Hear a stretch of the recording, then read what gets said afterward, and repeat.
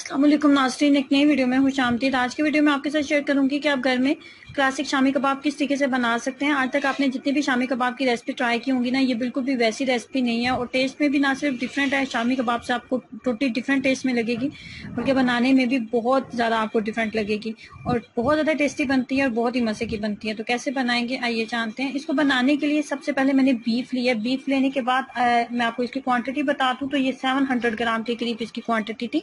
आधा आधा किलो से थोड़ा ज़्यादा थोड़ा एक किलो से कम था। सेवन हंड्रेड ग्राम के करीब इसकी क्वांटिटी थी।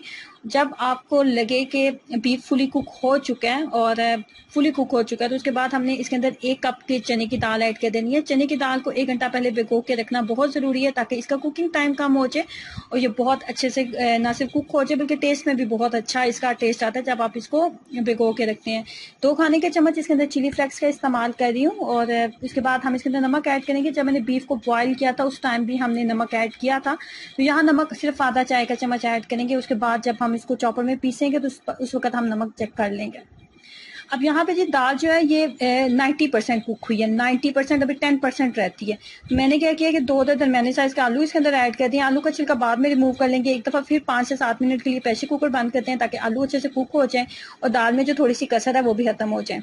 फिर उसके बाद तमाम चीज़ों को अच्छे से ना आपने ठंडा कर लेना जब तमाम चीज़ें कुक हो गई, उनको ठंडा कर लेना नॉर्मल रूम टेम्परेचर में आने दें, उसके बाद आपने इसको पीसना है। थोड़ी गर्म चीज़ को कभी भी मत पीसे, वो पानी छोड़ देती है। उसके बाद इसके अंदर दो मुट्ठी बराबर, एक मुट्ठी बराबर पुदीना जाएगा पुदीना, धनिया मैंने नहीं डाला था। पुदीना डाला था, सब्ज मिर्चें थी, सात से आठ अदर और एक दरमियाने से साइज़ का प्याज, बहुत बरी कट के फाइन चॉप करके इसको डालिएगा। सब्ज मिर्चें पुदीना और प्याज। तीन चीज़ें मैंने ऐड की हैं। ये मैं धनिया पाउडर ऐड कर रही हूँ। खुश्क धनिया पाउडर ऐड करेंगे दो चाय के चम्मच। खुश्क धनिया पाउडर जा, जाएगा दो चाय के चम्मच। उसके बाद इसके अंदर मैंने डाला था गरम मसाला पाउडर एक चाय का चम्मच। गरम मसाला पाउडर एक चाय का चम्मच डाला था। उसके बाद मजीद इसके अंदर मैंने दही ऐड किया था। दही ऐड करने की रीज़न ये थी कि ये शामी कबाब को बहुत ज़्यादा नरम और जूसी बनाने में आपकी हेल्प करेगा। और कोई भी आप कबाब बना रहे हैं ना, उसके अंदर अगर आप दही ऐड कर देते हैं ना तो कबाब आपका एक्स्ट्रा हंसता बनता है। तो भी ट्राई कीजिएगा इस टिप छोटी सी टिप को। उसके बाद जी इसके अंदर अंडा ऐड करेंगे। और इस तरीके से तमाम चीज़ें हमने डाल ली हैं। आप हाथ की मदद से अच्छे से मिक्सअप करते हैं और नॉर्मली जैसे आप शामी कबाब बनाते हैं या नॉर्मली आप कबाब बना रहे होते हैं, उसको राउंड शेप आप देते हैं सेम वही राउंड शेप मैं इनको दे लूँगी। ये देखें, तमाम कबाब को मैंने राउंड शेप दे ली है। अब मैं इसको तवे के ऊपर फ्राई करूँगी। इसके ऊपर कोई भी अंडे की कोटिंग शोटिंग करने की ज़रूरत नहीं है। नॉर्मली हम शामी कबाब बनाते हैं तो हम उसके ऊपर ऊपर अंडे की कोटिंग करते हैं, लेकिन इसके ऊपर हम अंडे की कोटिंग नहीं करेंगे। तवे के ऊपर शामी कबाब बनाने की वजह यह है कि जल्दी बन जाते हैं और एट अ टाइम आप बहुत ज़्यादा, जो है वो तवे के ऊपर आप डाल सकते हैं।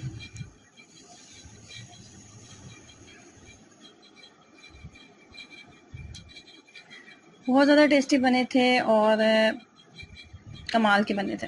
मैंने इनको बीफ के साथ ट्राई किया, आप इसको मटन के साथ चिकन के साथ ट्राई कर सकते हैं और इस रेसिपी का नाम है क्लासिक शामी कबाब। ट्राई करें और अपना एक्सपीरियंस शेयर कीजिएगा। अल्लाह हाफिज़। असलम नाजरीन, देखते हैं वीडियो में खुश आमदीद आज की वीडियो में आपके साथ जो रेसिपी शेयर करने वाली हूँ, इसका नाम है कश्मीरी कबाब करी की रेसिपी इसको मैं बीफ के साथ मैंने ट्राई किया। आप इसको मटन चिकन के साथ भी ट्राई कर सकते हैं, लेकिन बीफ के साथ कबाब हमेशा बहुत अच्छे बनते हैं। तो इसके लिए मैंने सबसे पहले आधा किलो के करीब बीफ लिया। आधा किलो बीफ आप देख लें, बहुत ही फाइन की है। इसका मैंने कीमा बनवाया था पहले। कीमा बनवाने के बाद मैंने एक दफ़ा इसको चॉपर में डाला है। चॉपर में डालने के बाद इसकी बाइंडिंग जो है बहुत अच्छी सी हो गई। ये देखिए, इसके अंदर इसके अंदर चर्बी भी मौजूद थी। इसके अंदर थोड़ी सी चर्बी भी मैंने डलवाई थी। चर्बी भी मैंने डलवाई है और इसके बाद ये बीफ का कीम है और बहुत ज़्यादा फाइन इस करने के लिए मैंने इसको चॉपर में एक से दो दफ़ा चला लिया और इसके अंदर मसाले जो जाएँगे। सबसे पहले लाल मिर्च पाउडर, इसमें आपने एक खाने का चम्मच लाल मिर्च पाउडर डालना है, आधा चाय का चम्मच नमक डालना है, एक चाय का चम्मच आपने ड्राई जिंजर पाउडर डालना है। ड्राई अदरक का सूखा पाउडर जो होता है वो डालना है। उसके बाद आपने इसके अंदर आधा चाय का चम्मच गर्म मसाला पाउडर डालना है। और एक चाय का चम्मच आपने इसके अंदर सौंफ का पाउडर डालना है। एक चाय का चम्मच सौंफ का पाउडर डालना है। ये तमाम चीज़ें इसके अंदर डालने के बाद हाथ की मदद से हमने इसको इतनी देर तक मिक्स करना है कि तमाम चीज़ें अच्छे से इसके अंदर मिक्सअप हो जानी चाहिए। हाथ का इस्तेमाल करेंगे, लेकिन उससे पहले मैंने इसके अंदर कुकिंग ऑयल भी डाला था। एक खाने का चम्मच तकरीबन मैंने इसके अंदर कुकिंग ऑयल डाला था। मैंने इसके अंदर बाइंडिंग के लिए कोई भी चीज़ ऐड नहीं की थी, लेकिन ना तो इसके अंदर कोई लाइंस बनी थी, ना ही ये टूटे थे। सिर्फ़ क्या था कि बीफ के अंदर थोड़ी सी चर्बी थी और बाइंडिंग के लिए मैंने इसके अंदर कुकिंग ऑयल डाला था। कुकिंग ऑयल जो है वो भी चर्बी का ही काम करता है और आपके कबाब को टूटने से बचाता है। आपने बहुत अच्छा सा फाइन से कीमा करवा लिया, कीमा आपका अच्छा होना चाहिए। उसके बाद आप इसको चॉपर में डाल के एक से दो दफ़ा चला लेंगे ना तो उसके बाद आप इसके अंदर मसाले, मदद मसाले अच्छे से मिक्स अप करें हाथ की मदद से आप मसाले अच्छे से मिक्सअप कर लें तो आपका कबाब कभी भी नहीं टूटेगा। फिर मैंने हाथ की मदद से, आप देखिए, मैंने कबाब बनाने का तरीका किया कि मैं एक दफ़ा एक हाथ में मैंने इसको डाल के प्रेस किया, फिर दूसरे हाथ में। इसको इस तरह करने का फ़ायदा ये होता है कि कबाब कभी भी टूटता नहीं और उसके अंदर लाइंस नहीं बनती आपकी। देखिए, ना तो कबाब बहुत ज़्यादा मोटा मैंने रखा है, ना ही बहुत ज़्यादा लंबा रखा है, बस मुनासिब साइज़ का हम कबाब को रखेंगे इस तरह। इसी तरीके से तमाम कबाब जो है वो मैं तैयार कर लूँगी। बहुत ही सिंपल बहुत ही आसान सी रेसिपी है। आपके अचानक से गेस्ट आ जाएँ या फिर आपके घर में अचानक से गेस्ट आ रहे हैं या फिर आपने डिनर या लंच में अच्छा सा कोई डिनर या लंच बनाना चाह रहे हैं तो ये बेहतरीन रेसिपी है। उसके बाद एक कप के करीब मैंने कुकिंग ऑयल लिया है। आप कुकिंग ऑयल की मकदार कम या ज़्यादा फिर अपने घर के हिसाब से रख सकते हैं। जैसे आपके घर में हंडिया वगैरह में यूज़ होता है, उस हिसाब से आप रख लें। मैंने एक कप के करीब लिया था और उसके बाद सबसे पहले दो दरमियाने साइज़ के प्याज हम इसके अंदर ऐड कर देंगे। और प्याज को हमने लाइट सा ब्राउन कर लेना है। बहुत ज़्यादा डार्क ब्राउन नहीं करना, बस प्याज को लाइट सा ब्राउन हम कर लेंगे। प्याज को लाइट सा ब्राउन कर लेंगे। प्याज जो है वो लाइट सा ब्राउन हो चुके हैं। जब प्याज लाइट सा ब्राउन हो जाए तो उसको बाहर निकाल लें। तमाम प्याज को हम बाहर निकालें। अब यहाँ पे इस स्टेज पे हमने इसके अंदर एक दालचीनी का टुकड़ा डालना है और दो से तीन अदद लौंग डाल देंगे। एक दालचीनी का टुकड़ा और दो से तीन लौंग डाल के, अब हमने इसको दो से तीन दो मिनट बस हम इसको देंगे कि इसका हल्का सा जो इसका फ्लेवर है ना, वो कुकिंग ऑयल के अंदर आ जाए। उसके बाद लहसन और अदरक का पेस्ट ऐड कर देंगे। लहसुन और अदरक का पेस्ट ऐड ऐड करने के बाद इसकी करने वाली हूँ यहाँ पे बुनाई। एक मिनट इसकी बुनाई करेंगे और उसके बाद हम इसके अंदर सब्ज मिर्चें ऐड कर देंगे। दो मैंने दरमियानी साइज़ की सब्ज मिर्चें ली थी, वो मैंने इसके अंदर ऐड की हैं। इस तरीके से कट करके आप डाल दें। उसके बाद मजीद मैंने इसके अंदर टमाटो प्यूरी ऐड की थी। टमाटो प्यूरी बनानी बहुत ही आसान और सिंपल सी होती है। आपने क्या करना है कि दो दर दरमियाने साइज़ के टमाटर लेने हैं, उनको हल्का सा बॉयल कर लें। हल्का सा बॉयल नहीं करना चाहते तो आप क्या करें कि आप उनको सिंपल उनका छिलका उतार के तो कद्दूकश कर लें, ग्रेटर का इस्तेमाल करके, वो उस तरीके से भी कर लें।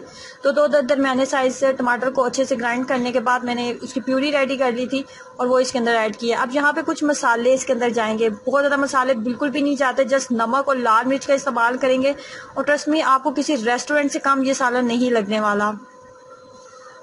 नमक मैंने आधा चाय का चम्मच डाला था, क्योंकि कबाब के अंदर भी नमक मौजूद था। तो नमक हमारे घर में इतना ही खाया जाता है, इसलिए हमने बहुत लंबा सा इसका जो है, वो मसाला तो बनना नहीं है, बस मुनासिब सा मसाला मैंने रखना है तो इसलिए बस नमक की मकदार काफ़ी है। लाल मिर्च पाउडर, एक चाय का चम्मच बस मैंने डाली थी। हमारे घर में बहुत ज़्यादा तेज़ मिर्च का इस्तेमाल नहीं किया जाता। उसके बाद हमने यहाँ पे करनी है मसाले की हल्की सी बुनाई। मसाले की हल्की सी बुनाई करने के बाद इसके अंदर हम दही ऐड कर देंगे। एक कप मैंने दही का इस्तेमाल किया इसके अंदर। एक कप दही का इस्तेमाल करेंगे। दही डालने के बाद फौरी तौर पे आपने इसके अंदर पानी भी ऐड कर देना है।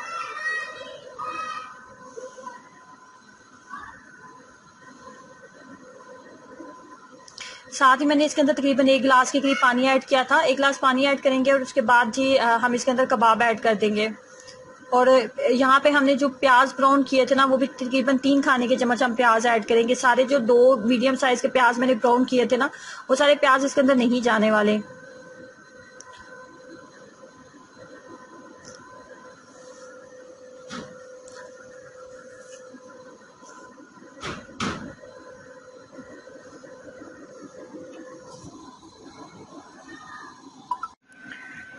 अब यहाँ पे इसके अंदर हम डालेंगे ब्राउन प्याज। ब्राउन प्याज तकरीबन तीन खाने के चम्मच हम डालेंगे। सारे प्याज का इस्तेमाल मैंने नहीं किया था इसके अंदर। अब यहाँ पे इसके अंदर हम जो है कबाब ऐड कर देंगे।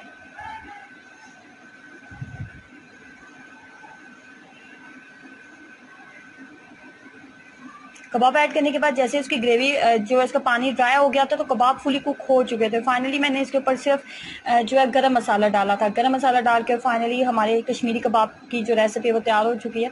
तो ट्राई कीजिएगा, एक ऐसी रेसिपी है जिसको एक दफ़ा ट्राई करने के बाद आप बार बार ट्राई करने वाले